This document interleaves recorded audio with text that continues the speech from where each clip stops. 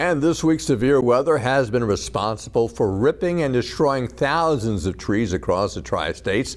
Tree surgeon Charles Bohard says his cell phone has been ringing nonstop. Storm victims looking for price quotes on removing trees and large limbs.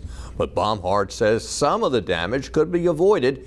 He suggests property owners to be proactive and remove dead and hollowed vegetation before violent weather tears it down and causes this type of damage.